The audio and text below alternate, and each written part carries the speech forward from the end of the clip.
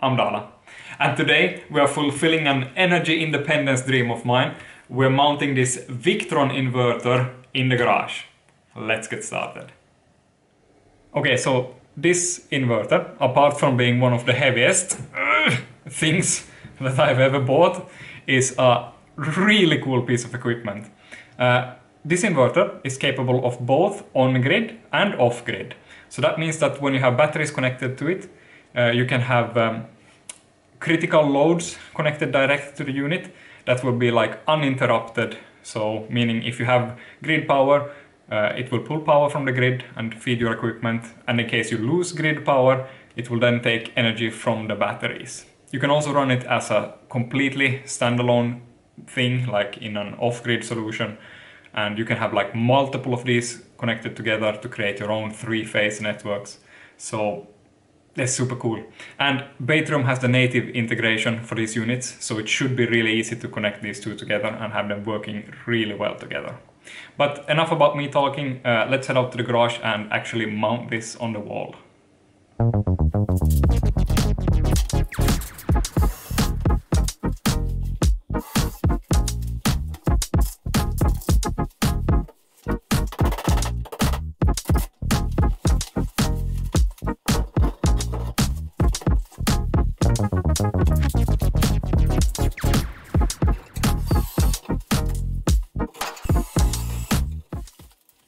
Wow, this thing is blue.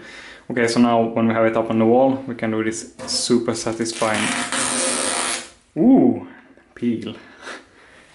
Okay, so now when it's up on the wall, uh, I can just get to making more of these uh, battery uh, connector uh, wires. And uh, I'm also going to be mounting a uh, AC socket right beneath it, so we can actually test it out. This is super exciting. So, time-lapse time.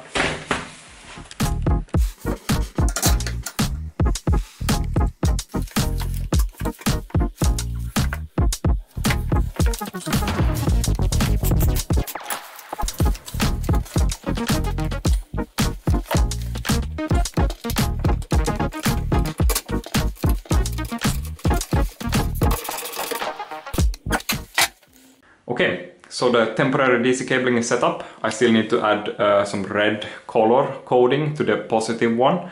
And you can see that the negative one uh, goes to the shunt. And the positive one I run in a conduit all the way over to the uh, positive terminal here.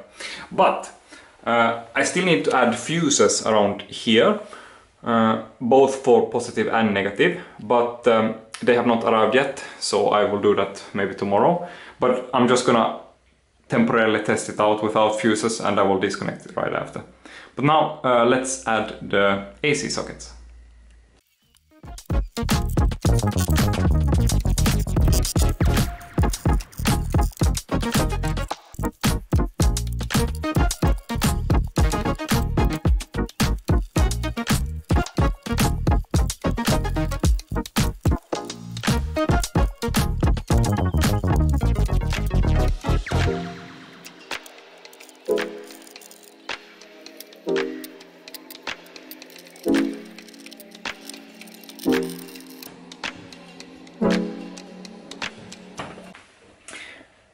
Okay, now we have an AC socket and this is, uh, well of course I still need to clamp this down, but uh, before I go and make this uh, install like super permanent, I would really like to just fire it up and uh, take a look at how it's performing. So um, I think we're gonna do just that. Hang on, I got a perfect thing for this.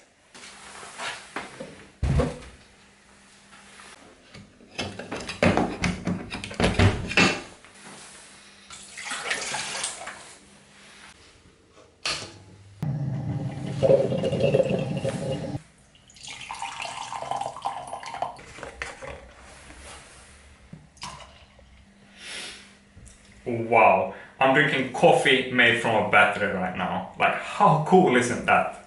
Uh, there's still lots to be done here, still. Uh, we need to add uh, fuses in every end and we need to add contactors so that either the inverter or BMS can turn off the battery in case it uh, goes undercharged or overcharged. And uh, we still need to add communication, CAN communication between the inverter and BMS so they can talk and uh, communicate state of charge limits, etc. So still lots to do, but this basic setup now at least has uh, emergency power right here available directly from a battery.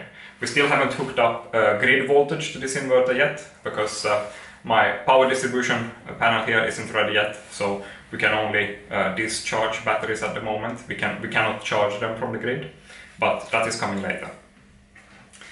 So, I hope you enjoyed this uh, quick video. Um, if you like this type of content, uh, consider becoming a patron. You can get all cool stuff like this uh, mug, for instance. Sneaky. Yeah, so see you in the next one.